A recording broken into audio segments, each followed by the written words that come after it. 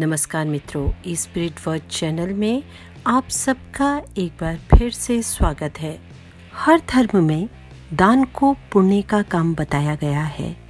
हमारे शास्त्रों और पुराणों में भी दान को बड़े पुण्य का काम बताया गया है। दान करने के पीछे विभिन्न धार्मिक उद्देश्य बताए गए हैं। शास्त्रों के अनुसार वस्तुओं को दान करने से इंसान को हर परेशानी से निजात मिल जाती है और उसके जीवन के सारे कष्ट दूर हो जाते हैं। हर मनुष्य को दान करना चाहिए ताकि उसके आसपास के ज़रूरतमंद की मदद हो सके।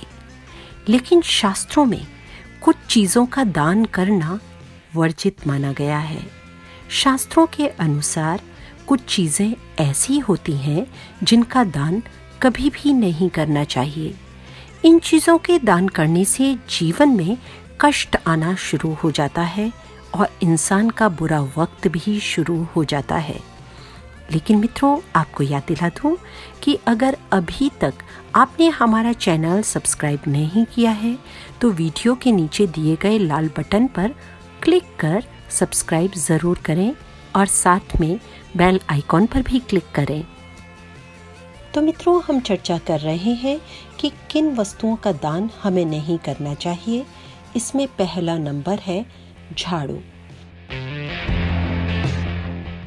झाड़ू को माँ लक्ष्मी से जोड़कर देखा जाता है और झाड़ू का दान करना वर्जित माना गया है।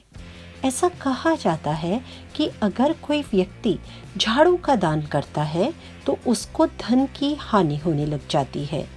वास्तुशास्त्र के अनुसार ऐसा करने से घर परिवार में सुख शांति समाप्त हो जाती है।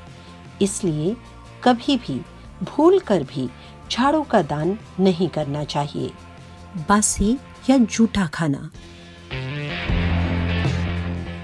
खाने के दान को सबसे बड़ा दान माना गया है। ऐसा कहा जाता है कि भोजन या अनाज का दान करने से किस्मत खुल जाती है। और माँ लक्ष्मी प्रसन्न हो जाती हैं। लेकिन धर्म शास्त्रों के अनुसार कभी भी जूठे खाने को, बासी खाने को दान नहीं करना चाहिए। इससे परिवार में दरिद्रता का भाव पनपता है। मनुष्य को चाहिए कि दान के लिए उपयुक्त शुद्ध भोजन का ही इस्तेमाल करें। पहने हुए कपड़े। हिंदू धर्म में कपड़ों का दान करना अच्छा माना गया है। लेकिन आप कभी भी अपने पुराने पहने हुए कपड़ों का दान किसी पंडित को ना करें। किसी भी धार्मिक त्यौहार या शुभ तिथि में पहने हुए कपड़े दान करने नहीं चाहिए। ऐसे अवसर पर हमेशा नए वस्त्र दान करने चाहिए। पुराने कपड़े आप किसी गरीब की ज़रूरत के अनुसार उसे ऐसे ही दे सकते हैं। लेकिन आपके मन में दान का विचार नहीं आना चाहिए। ऐसे रिश्तेदार को भी पहने हुए वस्त्र ना दें, जो कि आपसे ईर्ष्या रखते हैं। घर के बर्तन। अपने घर के बर्तनों का दान आप कभी ना करें।